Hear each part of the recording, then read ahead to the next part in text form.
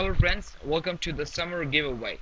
I would like to welcome you and I want to show you what exactly you need to do as a contributor. If you already don't really know what exactly you're supposed to do as a contributor, um, then I'm pretty sure this video uh, will actually show you or expose you the way of what you need to do at the very beginning.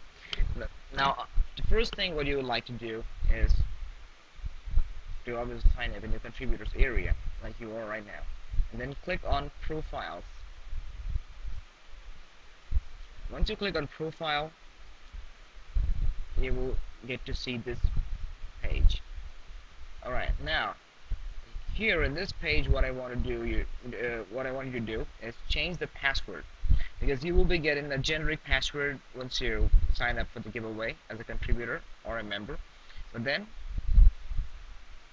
it's always good to change the password immediately for various reasons. First of all, you will be able to remember the password because if you use the password which you usually use, you know, it'll be good for you. And uh, that, that's one thing which you which you'd like to do. Alright, and then you can see a picture over here. Now I added this picture, of course. Now, I don't want anyone to look like this over here.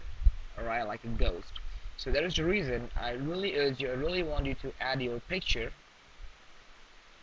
so that the giveaway looks good. And it'll be it'll be beneficial for you as well because people will get to see your face and uh, that actually adds to your credibility in future as well right? Then what you need to do is you need to update your PayPal ID over here. It's very important in order for you to receive the commission which you'll be getting when you refer someone and if, this, if someone if someone uh, you know if someone gets recruited by you as a contributor or member and they upgrade then you actually receive a percentage of that. For that it's very important for you to actually add a PayPal ID you can use your Twitter username over here. No need to put a clickbank ID because I'm not really using that feature in this giveaway. And then you need to just click on save changes and your profile is saved. Thank you very much for watching, watching this short video uh, the next video I will show you how you can submit your gift.